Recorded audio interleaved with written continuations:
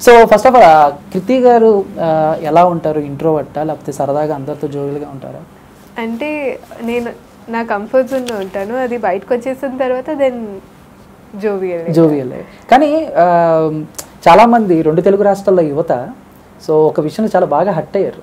మీరు ఒక ప్రెస్ మీట్కి వెళ్ళి అక్కడ ఏడవటం మీ మీద ఎవరో ప్రాంక్ చేస్తే.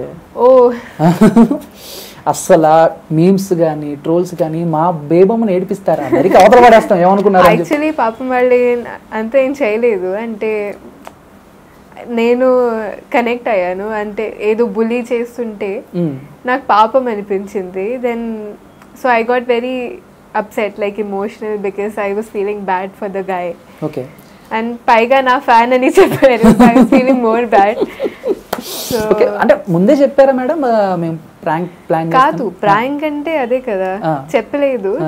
నేను నిజంగా అనుకున్నాను. ప్లస్ నాకు తమిళ్ అంత బాగా రాదు కూడా. అంటే హండ్రెడ్ పర్సెంట్ నేను అండర్స్టాండ్ చేయలేను. సో కరెక్ట్గా ఏమవుతుంది ఏం జరుగుతుంది నాకు తెలియట్లేదు. కానీ ఆ యాక్షన్ వాళ్ళ ఎక్స్ప్రెషన్స్తో నేను జడ్జ్ చేశాను.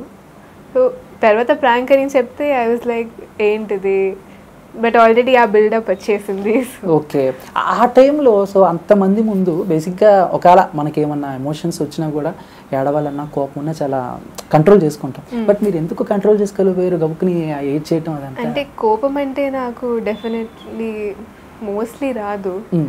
బట్ నేను I'm very bad at acting in real life.